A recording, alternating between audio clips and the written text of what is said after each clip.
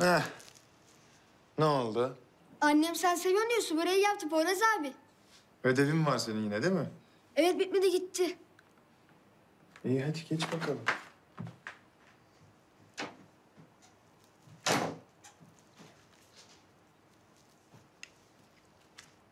Ne ödev verdi öğretmen?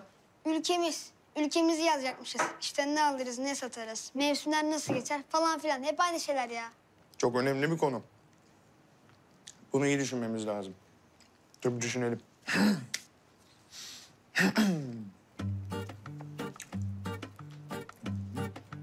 tamam tamam tamam yaz bakalım. Ülkemiz iki nokta üst üste. Üç tarafı denizlerle çevrili, içi yalnızlıklarla dolu bir kara parçasıdır. Ama bu olmaz ki. Olur olur. Mis gibi olur. Biz burada ödev yapmıyoruz. Biz burada tarihe not düşüyoruz. Yaz sen yaz. Ekonomimiz.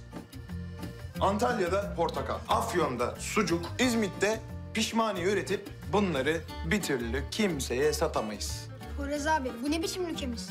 Ne var oğlum? Fıstık gibi ülkemiz işte. Sana da ülkemizi beğendiremedik paşam. Yaz hadi yaz. Yaz böyle çok konuşup da benim kafamı karıştırma şimdi. Ee, ha.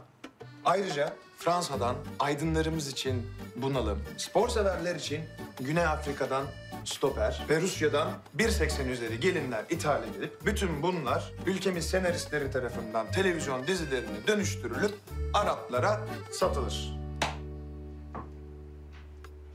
Öğretmen çok kızacak. Kızmaz kızmaz. Kızarsa buz koyarız. Ayrıca ülkemizde yazlar sıcak ve ter kokulu. Kışlar ise soğuk ve yalnız geçer.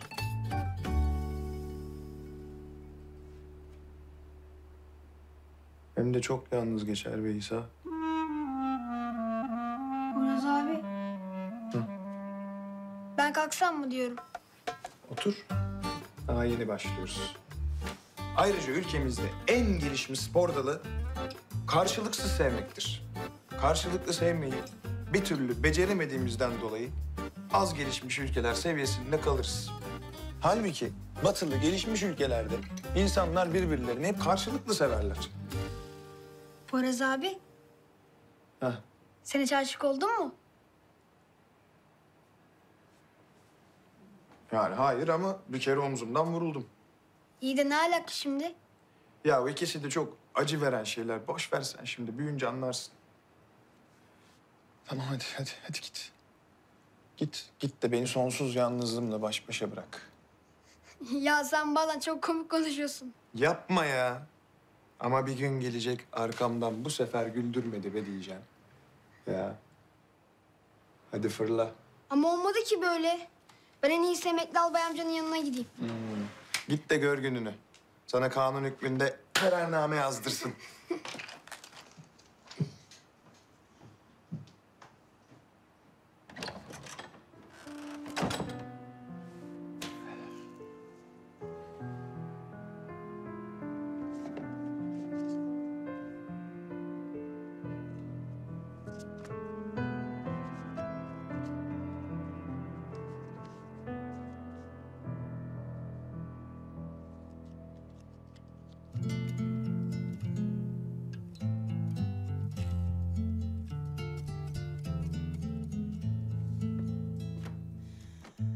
Gökyüzünde yalnız gezen yıldızlar.